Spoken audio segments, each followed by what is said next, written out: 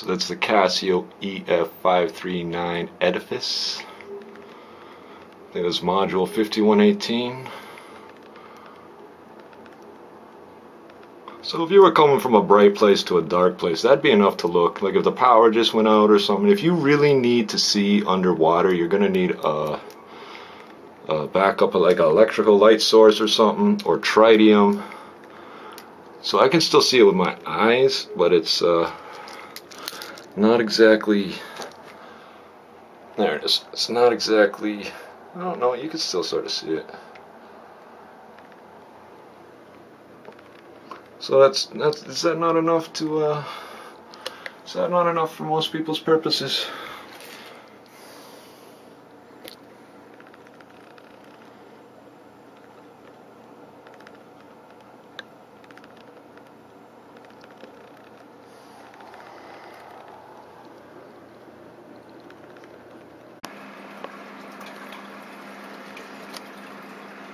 So I refer to these two as the truck driver's combo, the cab driver's combo. So on the right hand side is a Guess Steel. Uh, it's called the Spectrum. It's uh, W14043L1. Uh, and on the left we have a Casio Edifice EF539 with the module 5118. so on the nine o'clock, on the three o'clock sub dial is a 24-hour indicator, meaning it'll show you basically the what what the equivalent 24-hour time would be in AM or PM. Yeah? So as you can see, it goes 04, 08, 12. It, it's you can see it's marked. You can can you see that? It's rated to five atmospheres. On the back, it say 50 meters, 165 feet. Uh, that is gold plated stainless steel. This is just stainless steel. There's no luminescence or backlight or anything on this watch, but I'm going to tell you, it doesn't really need it. So, and this one has some wear and tear on it. But uh, maybe we'll get into that. I, I like that in a watch. That's that's odd. That's showing me shiny spots that are not worn out. So most people wear their watch on the outside I wear them like this a lot, so you may notice the wear and tear on the top more so with me. Okay, so, oh, there we go, that's a nice neat uh, angle there. If I press this, it starts the chronometer. Okay, if I press this again, it would pause it. And if, see, paused, stop, I should say. That's the start stop on the top pusher. The bottom pusher resets it. Oh, it didn't work. I can't, I'm not, oops, I'm not pressing it hard enough. Now, you will see why I called these the truck driver special. Did I react or get worried about that? This is a big, heavy motherfucker. This one's 43 point, about 44 millimeters in diameter. And this one's 47.5 or 48 millimeters in diameter. Now this one has a different style of chronometer. This one's 60 minutes, 60 seconds and 60 minutes. 60 seconds at the 6 o'clock position sub dial. 60 minutes on the 9 o'clock position sub dial. Now this one here, as you can see, the 6 o'clock position sub dial is actually the seconds indicator for the main clock. And then, uh, should have turned the video image stabilizer on. And now this one, if I start it, and this one is a 20, 12 hour chronometer, 60 minute chronometer dial. This one's just a second. So how do you count seconds on the chronometer? I'm about to show you. When you start the stopwatch, that's what happens. That second hand starts moving. Stop it and it stops. Okay, so as you can see here, the date wheel, the date window is at the 4 o'clock position. Now take a look, 12 o'clock, 6 o'clock, 9 o'clock, and what's at the 3? Oh, okay, I see what you did there. I, I see what you did there. So this watch, I will tell you, has a lot of asymmetry built into it. So I'm a I'm a I'm gonna put a quick uh, clip, a snip right here, okay? Edit mark, okay? So I'll be back in a few minutes, but for you it'll be a few seconds. This is with the video stabilizer on. It's interesting. This is a Sanyo CG65, and uh, the camera I'm using, I should say, and it has video stabilizer and it has image stabilizer.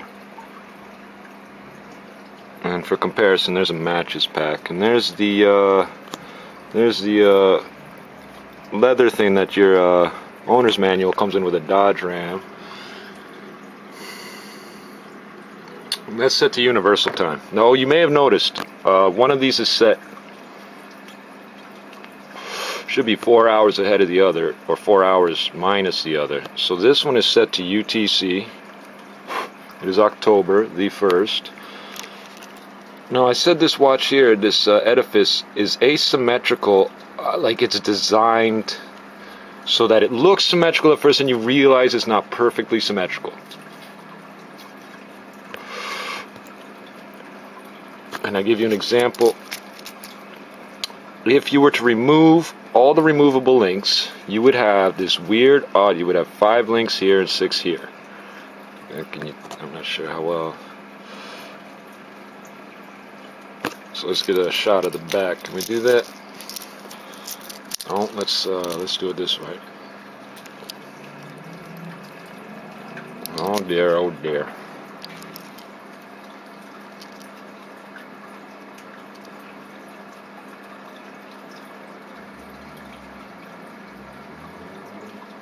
Now I don't know what that DY letter code means. So what did this one say? Uh, cased in China the Japan movement, uh, DY, I don't know the stainless steel, water resistant, 10 bars. So this is 100 meters on the front, says 10 bars on the case back. This one says 5 atmospheres on the front, and uh, 50 meters or 165 feet on the back.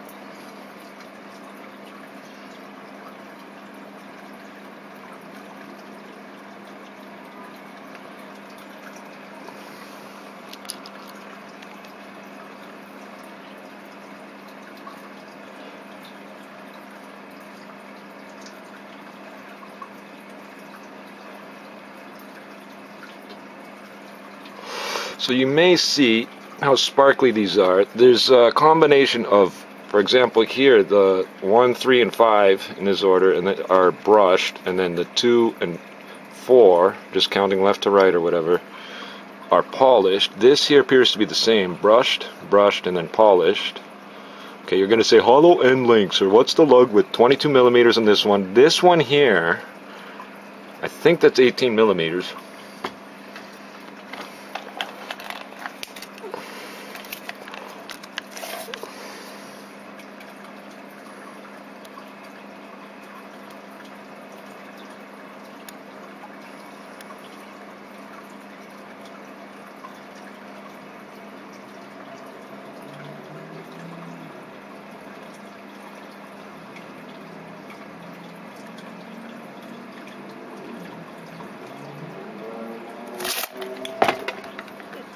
This one's 22. Um, I can measure again, but. And I'm not sure if this center lug piece here, so you'll see there's no drilled lugs. I think, oh no, this one has, sorry, see I got it backwards. This one has those holes, they call them drilled lugs, and you'll notice the form factor is very similar to a Casio you've heard of called the G-Shock. Now notice this is not designed to absorb shock so much, but it is willing to sacrifice certain parts, namely this first link and this first link here. Looks like you could take them right off if it got if it got crushed this way. So it's uh, so it doesn't sit perfectly flat as it is. There's marks on this one. So as a collector, as a watch person, as a as the watch commander of the local chapter of Neighborhood Watch, So I'll tell you. Uh, so I like I like the small dings and stuff. Now there's one right here at the 10 o'clock marker. I wonder if you'll be able to see it. Yeah, there it is at the 10 o'clock marker, which is also it says 50, the 50 minute marker. Uh, now what happened was I was wearing both watches uh, at the same time what you're not supposed to do. I, I call that the van den Kerkhof because I wear like a whole bunch of them and I try to make them uh, line up so they don't bang into each other. Uh, not that I would care if it was just stainless, but I want to protect the crowns and I don't want this gold to get any scratched up more than it has to because once it's gone, it's gone, you know. But uh, I'm not a big gold person, so bear in mind when I if I go off about this watch and how good it looks, the guess on the right hand side, it's not just because it's gold. But what I like is how reflective. It gathers all the light. Now this one's very domed. It's very convex. So I'm going to show you quickly what happened the other day. Okay. I both my watches were like this, and this one impacted this one. This one, because it was on my right wrist, like this, and then this one was on my left wrist. So they were both dialed down because I was wearing two of them. They were both dialed down, and uh, the bands are way too big. And this is why I chipped the glass, but did not break it. So it was very interesting. It's two different styles of making a watch tough, and yet uh, they come out very differently. This one's very curved, and then if you look at the bezel, the bezel is bevel. There's the Timex Integral. The, the, the bezel is beveled. Now look at that. Now, you may see some distortion there, but I'm telling you, it's it's. Look at the angle you got to go, and then uh, if I just to show you that chip again, at this angle, okay, even if I wear it uh, underhand, so to speak, dial down. Now see there, it's it's quite obvious to someone who was like looking for things like that, okay, but this is the type of watch. These would have both been about 300 bucks Canadian, brand new. They've been making these, I think, since 2011. I'm not sure. 2010 or something. I, I could be wrong on that. They still make them now. You can still get them.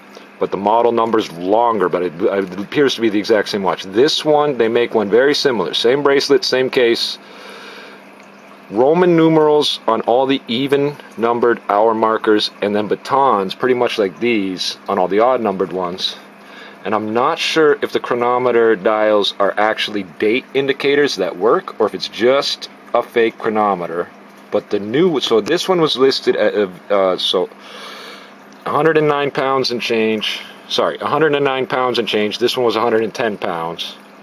Alternatively, this one was listed at uh, $200 US, 199.99.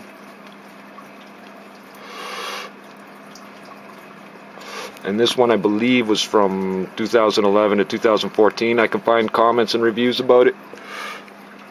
Uh, so a watch that isn't available anymore, or a watch from a company that's not like a watch company. So Guess is a fashion house, but they've actually been making watches or selling watches since uh, 80. Oh dear, 82 or 84, 81 or something like that, 1981. So just to show you again that I'm not messing around with this chronometer, if I pause it there, oh, it didn't pause. Pause it.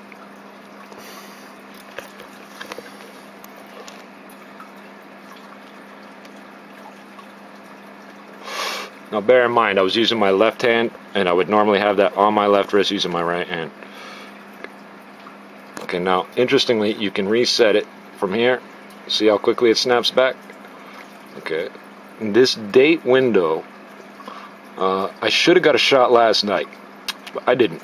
Because last night was September 30th, and it turned over to September 31st, and I was like, that's not right.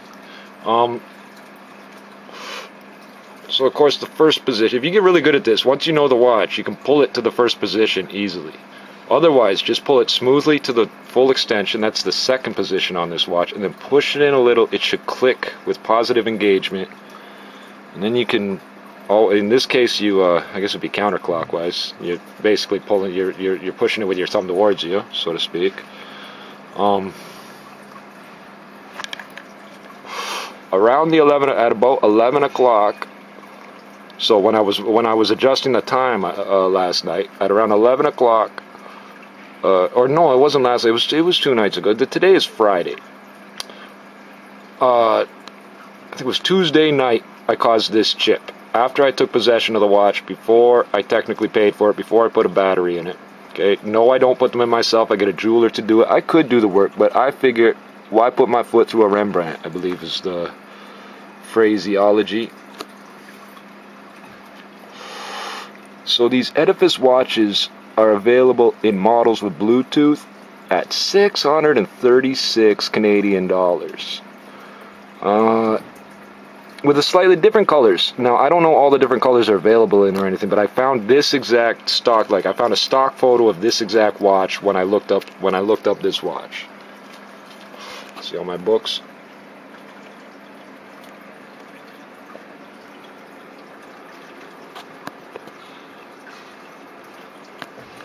So those are all set to universal except for this one. So what I was thinking, this one here, if I look at the wear and tear, I look at the wear and tear, it appears to me, and the style of watch it is the type of watch. It's the new one, by the way. I forget if I mentioned. It's the so if this one was listed at $200 on the American site I found. The new version that looks the same from a distance and the dial is cosmetically different is $330. 65% more. So you see the, the 24 hour indicator correlates to, uh, even, even though it's coming up. So on 1955 or 7.55 p.m., now it's 7.56, just went off and uh, you can see that 20 that that 24 hour indicator at the number at the 3 o'clock uh, subdial position 3 o'clock position subdial that'll line up perfectly with the 20 in a moment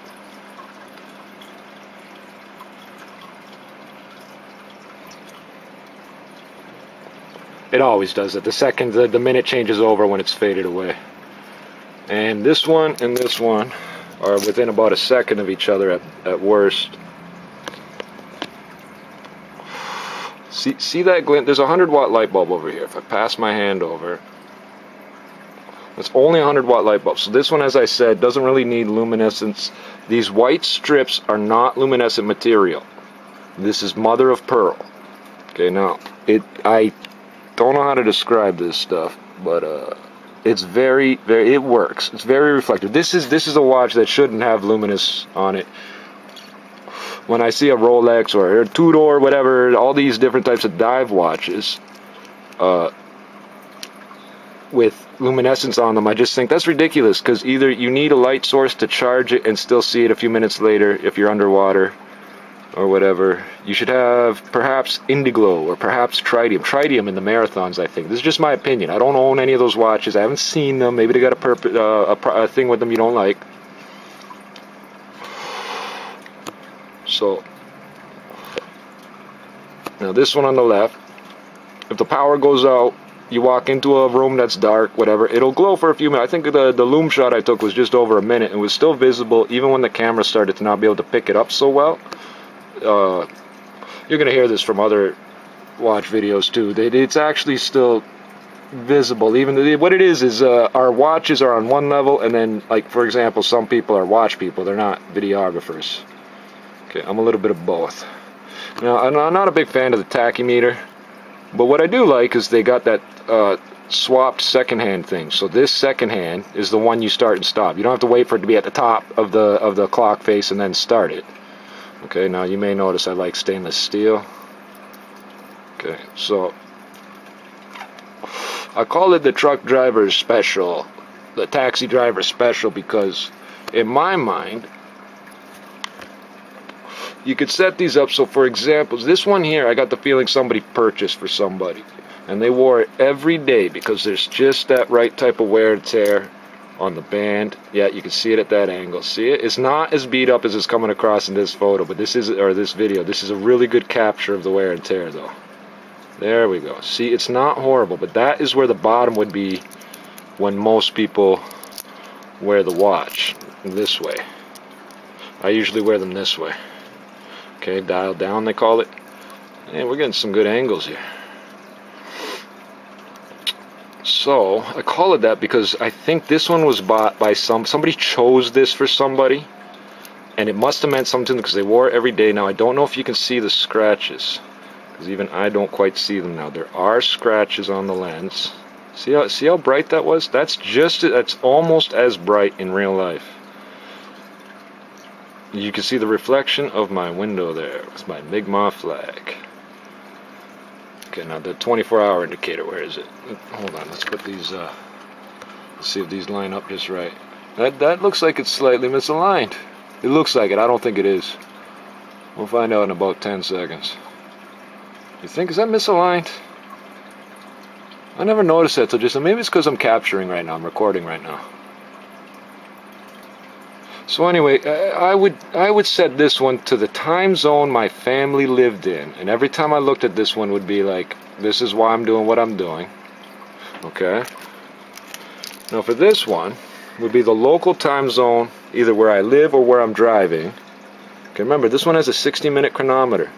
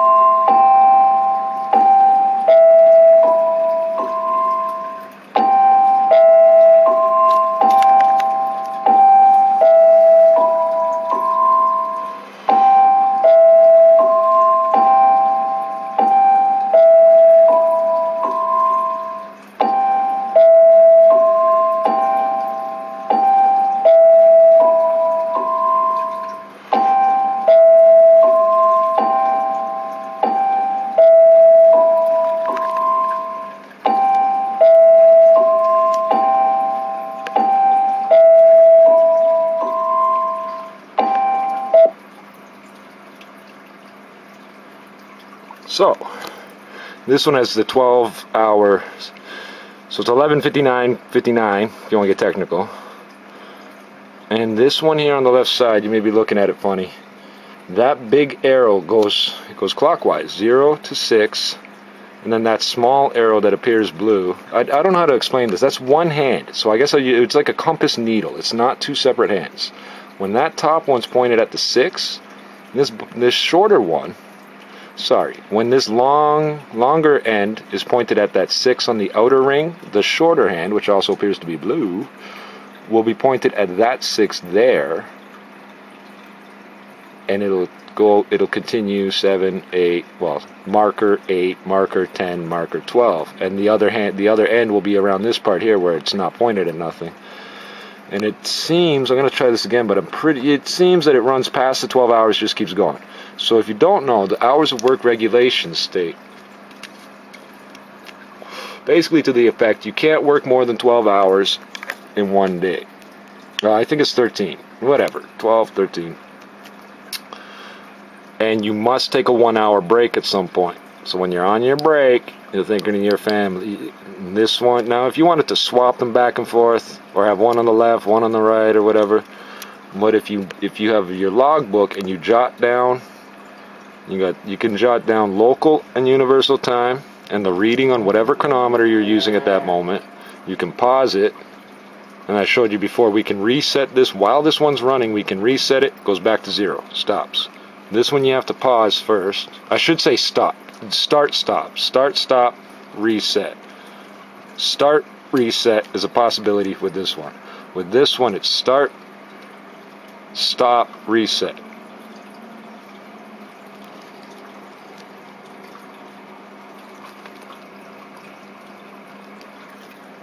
Oh, that's going to go around for a while. Now let's see how long it goes around for.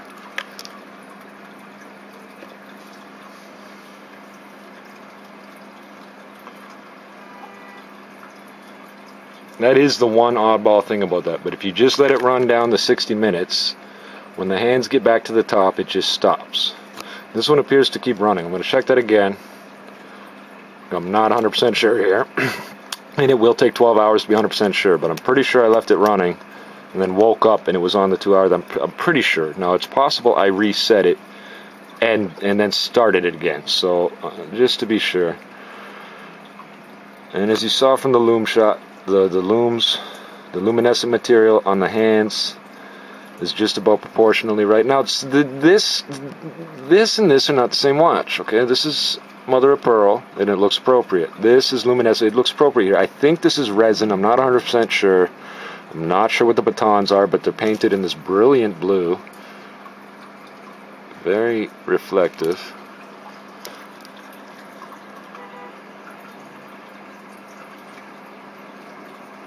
But because of what the watch is made of and the style of it, it looks correct.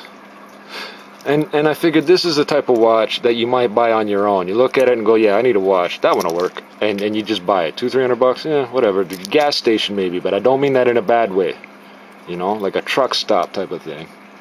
You, see where I'm going with this? Right. And then so on this one again, as I say, if you put it on uh, the time zone of where your family is, you've got the 24 hour indicator here. So 12 hours from now, when this hour hand goes all the way back around to the 8, it will not be on the 20 on this indicator, this subdial. It will be on the 8.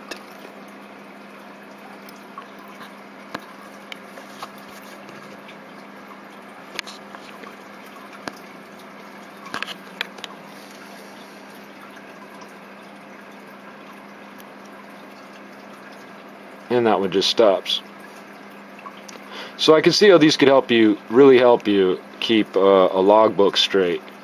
And the other thing is if either one of them runs slow or the battery dies, as long as you don't, as long as they don't both die at the same time, change the batteries uh, in alternating years or something. So there's no backlight function or anything in either of these to waste your battery power, only the chronometers. And hey, if you use them every day, you're not wasting shit. That's a part of what you bought them for, right? So I've owned this one for, uh, let's see, over a month. About five, let's say it's five weeks, maybe a couple days more. And this one for about a week.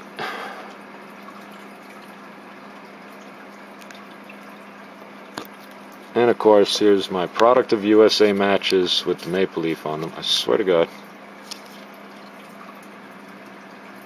Just for size comparison.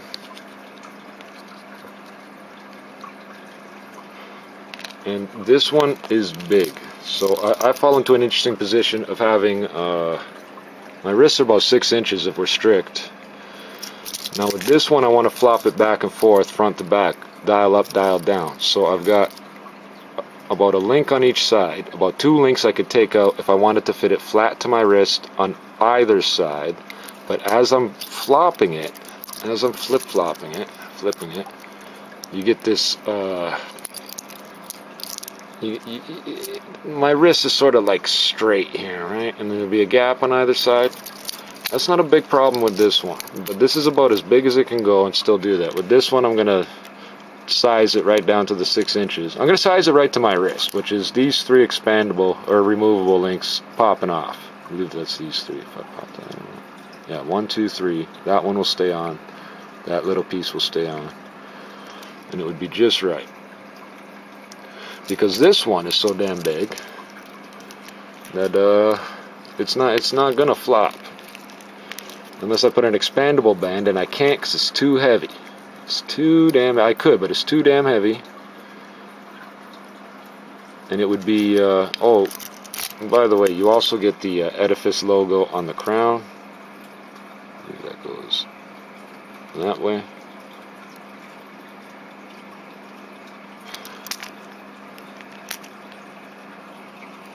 so what did I say? This one was listed at 109 pounds and change, 133 pounds and change, 132, 133 pounds. And then this one was like a, a pence more on the British side I found it on. Uh, that's how that goes. Or $200. And then you would pay shipping. And then in Canada, you'd have to pay the exchange rate uh, instead of shipping. And you would have to pay sales tax uh, if you bought it in Canada like in person somewhere. So these uh, subdials have a metal type of ring around them. Bear in mind, I haven't looked up everything about this watch yet to find out everything about it, but if I angle it just right, maybe you'll see what I'm talking about. That it has uh, metal rings around the subdials. And there's some similarities there are some similarities between these two watches. Okay, very clear baton markings where there aren't numerals. Here's another thing about the working man. Uh, 12 o'clock, 4 o'clock, 8 o'clock. So 8 a.m. to 4 p.m., 4 p.m. to 12 a.m. midnight, midnight to 8 a.m. That would be a, a three shift thing at a factory, wouldn't it? There's a triangle there, isn't there? And just some mathematics and you know symmetry perfection I'm looking for OCD I'll attempt to attain it and I never will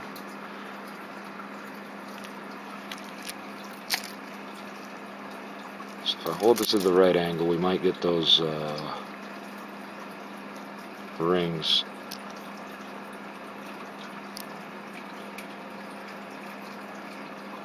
Now neither of these presents any particular problem viewing them in the sunlight with, uh, there we go, sort of, there we go. Can we get that at a bit? So those rings appear to be metallic. I'm not 100% sure they are. Oh, you can see that crack nice and clear now.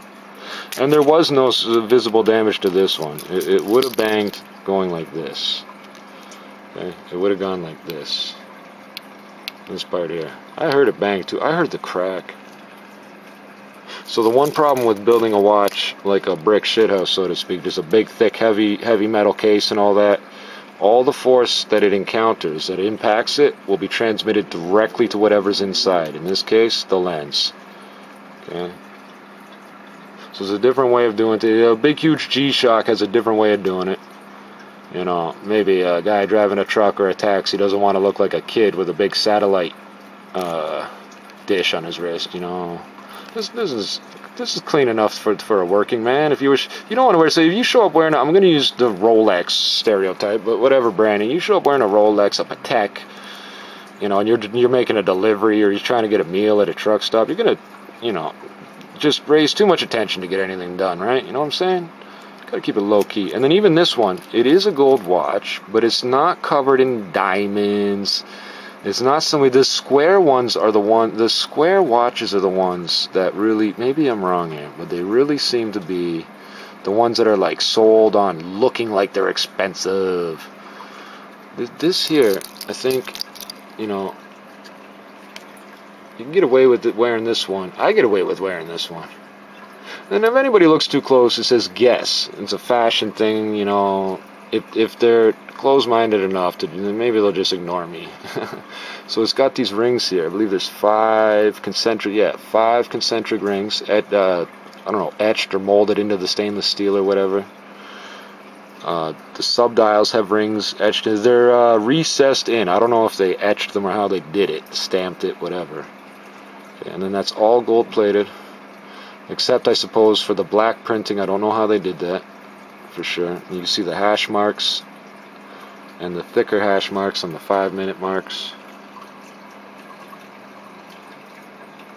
Uh, and I looked, no, I thought, oh, maybe it's like a Rolex. No, I, I don't know where the numbers are. So,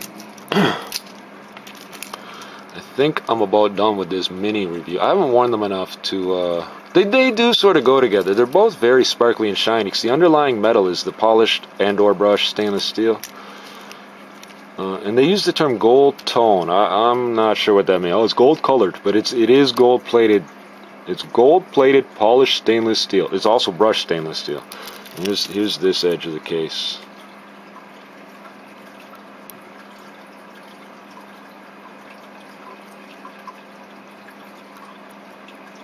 Even even the back is shiny.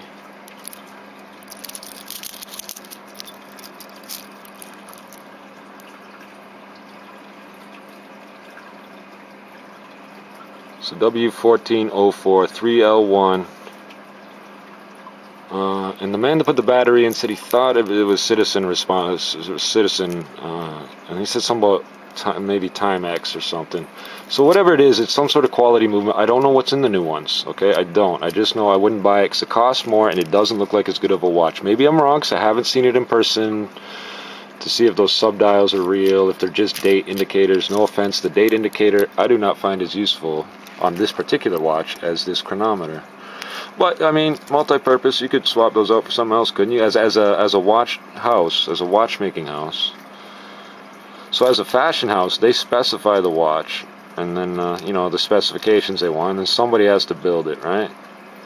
So this entire this entire uh, piece here is gold plated, even where the hash marks you see around the the beveled part on the inside. I don't know if you call it the inside of the bezel or the inner bezel.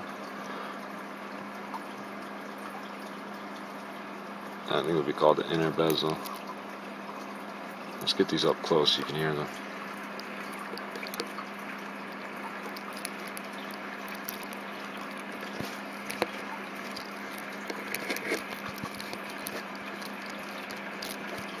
So I don't think that's making enough noise for the camera to pick up. So let's try this one. Try